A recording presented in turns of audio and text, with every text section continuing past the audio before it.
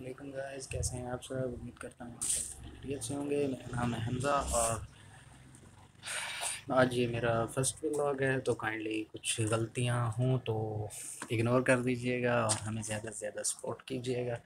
तो सबसे पहले मैं आपको बताता हूँ कि हमने अपने चैनल का नाम लूज़र ही क्यों डिसाइड किया। लूज़र डिसाइड करने का मकसद क्या था?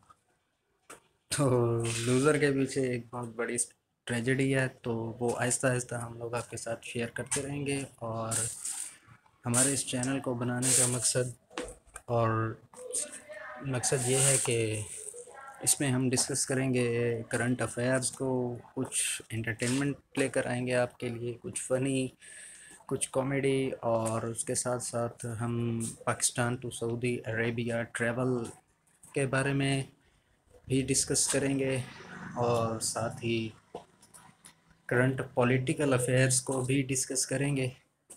तो आप लोगों की, सब भाइयों की ज़्यादा से ज़्यादा सपोर्ट चाहिए होगी। तो प्लीज़ एक रिक्वेस्ट है कि हमारे चैनल को ज़्यादा से ज़्यादा सब्सक्राइब करें।